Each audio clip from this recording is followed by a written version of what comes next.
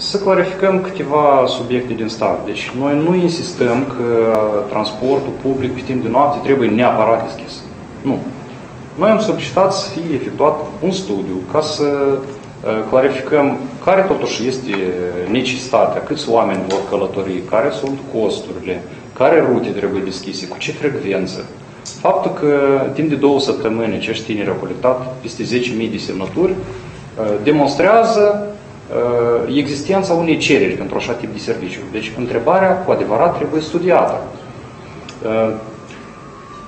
După cum am spus, solicităm efectuarea unui studiu uh, și sunt câteva întrebări la care acest studiu trebuie să răspundă. Deci, care este cererea, câți oameni doresc să, sau au nevoie să călătorească în timpul nopții? Uh, care trebuie să fie itinerarele rutelor?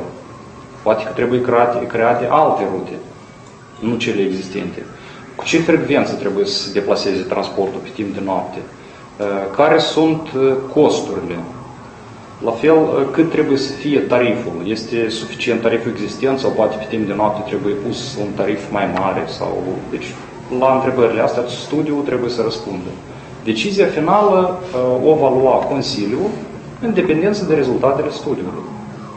Ă, posibil că acest proiect nu va fi fezabil din cauza că cererea este mică. Noi nu cunoaștem. Posibil că el va trebui subvenționat din bugetul primăriei.